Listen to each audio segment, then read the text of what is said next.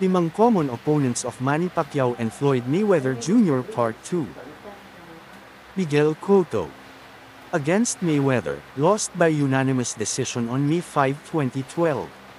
Mayweather returned to 154 pounds to face Cotto in a huge fight and outboxed and outfought the relentless Puerto Rican star. Against Pacquiao, lost by TKO round 12 on November 14, 2009.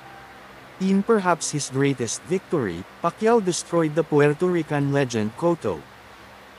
He laid a beating on him before the bloody ending in a historic fight. With the punishing win, Pacquiao claimed a world title in a record 7th weight class. Pacquiao's victory marked his 7th division title and his first WBO welterweight title reign.